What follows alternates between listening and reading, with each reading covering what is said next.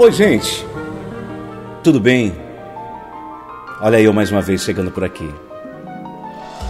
Agradecendo a Deus, é claro, por poder mais uma vez contemplar mais um amanhecer. E agradecendo você onde você estiver, pela sua atenção, pelo seu carinho dedicado a este momento, o nosso momento da reflexão do dia. Mas um momento preparado com carinho para você e a nossa mensagem de hoje está maravilhosa. Me acompanhe no nosso texto de hoje que diz assim: olha, somos amor em seu estado mais puro. Somos os diamantes da vida.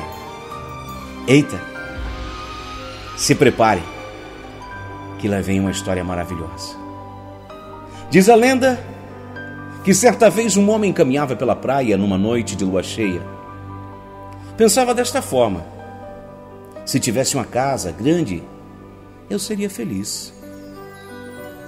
Se tivesse um excelente trabalho, seria feliz. Se tivesse uma companheira perfeita, seria feliz, muito feliz.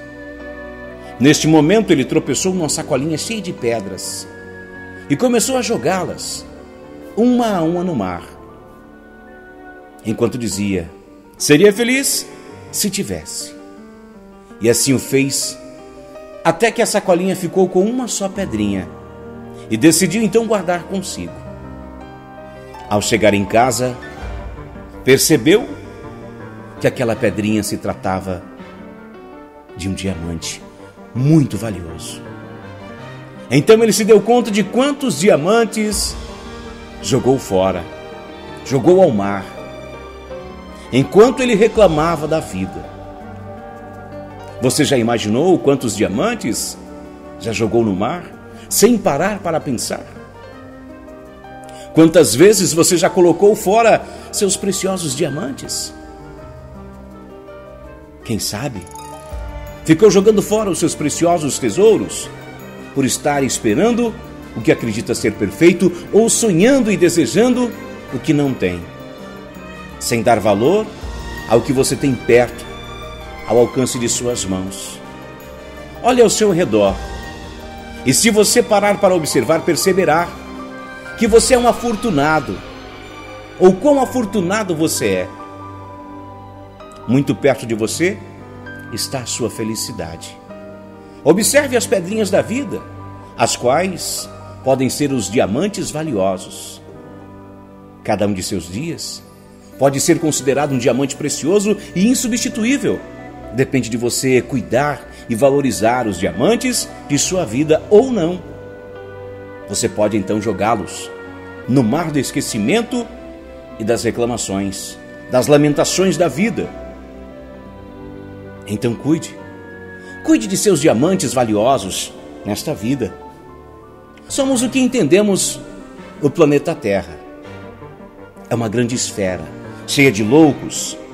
Somos os que abraçam os animais com amor, os que andam descalços na terra e abraçam as árvores, os que falam com as estrelas, com o sol, com a lua e vemos luzes no céu. Somos nós que entendemos esta vida em uma continuação de outras vidas. Que a morte é voltar ao que sempre fomos. E terminar de nascer é voltar para casa. Somos nós que sabemos que não tiramos nada desta terra, além do que sempre demos ou oferecemos. O amor que tudo somos. Que viver é nascer é que você não vive loucamente. Não. Você é um homem sábio. Uma loucura estelar.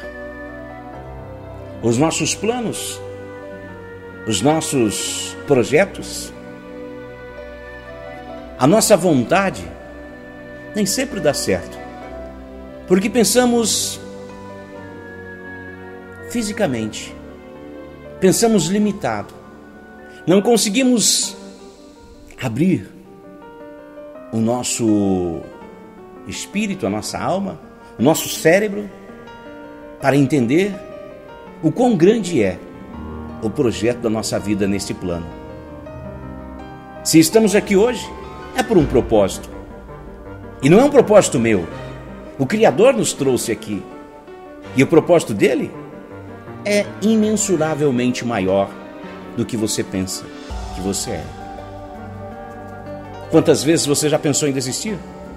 Quantas vezes você já jogou tudo fora? Assim como as pedrinhas de diamante.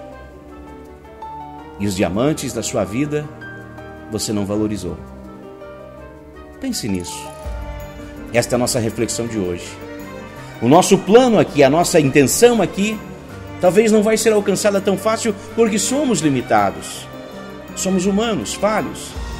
Mas dentro de nós existe um espírito, existe uma alma que é controlada, é guiada e cuidada por Deus.